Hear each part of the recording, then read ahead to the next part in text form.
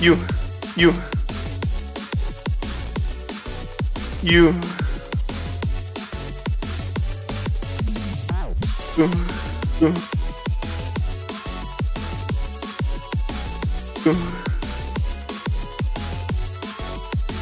you, you, you. you you. You. You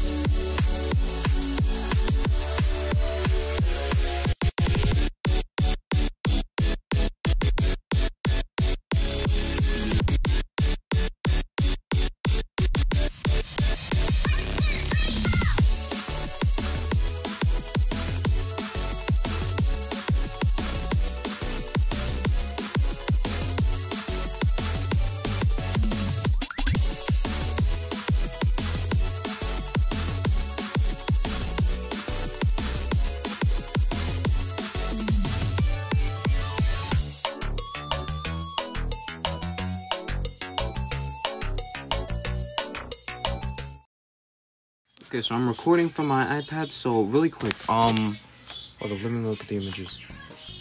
The images will also show on the thing, on the video. Why does it take us so long? To do the command generator, all you have to do is go to the folder that you put all the, um, the samples in. Make sure they're all wave and they're all numbered, like I said earlier.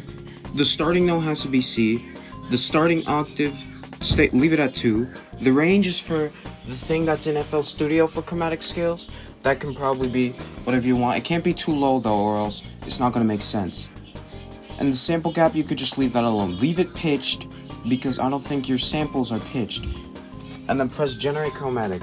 Give it a few seconds and then in the same folder where you put the samples, it'll put in the chromatic as a WAV file and a, and a folder in the folder of the pitched version of the samples. But anyways, back to the recording.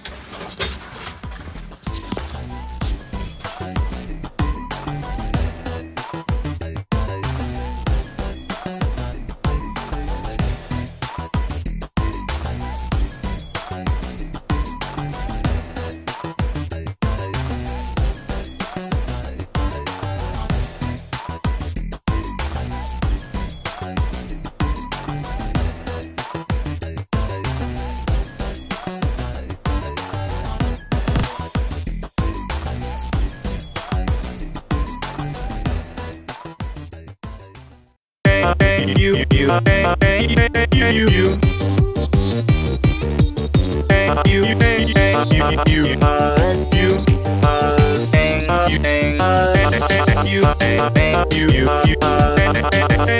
you, you,